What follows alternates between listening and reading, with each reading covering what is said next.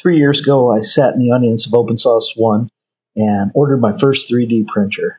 And from there, I'm on the side quest to build robots. But out of everything that I've built, probably my favorite is this popsicle stick robot. Nothing has given my family more entertainment. The basic recipe involves an Arduino Uno V3. I've got three servos, a joystick, of course, and everything's coded in ChatGPT.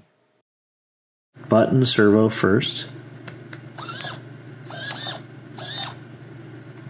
Okay, left, right, up, down. Oh my god, it works. It's about this point I deviated greatly from the Instructable. I'm building it in a box. I'm using hot glue for everything. In fact, it occurred to me during this build that hot glue is essentially just a, a handheld 3D printer. You can build things that are structural, as you can see here.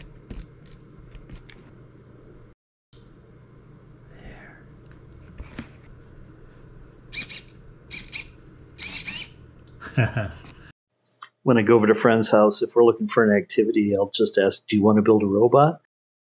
And then I'll bring all my supplies and turn their kitchen into a disaster. My friends had an interesting interpretation. They called this Lamello Bot. Back to my prototype, my boring little prototype.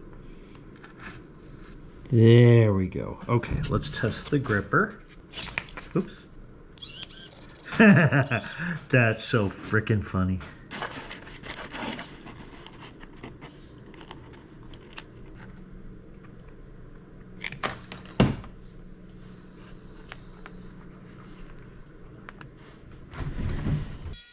Now for the big reveal.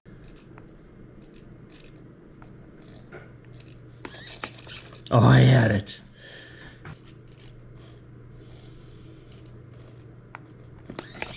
Got it. Okay, now we need to lift up. Up.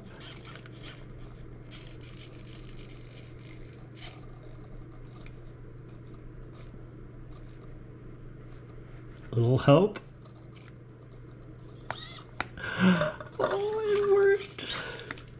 It worked. Clap, clap, clap, clap. This is really hard. Hi, Ken. Hi, robot. What's your name? Balls. B- balls? Yeah. Push it. Why are you so sad, balls? Because my name is Balls. Perfect.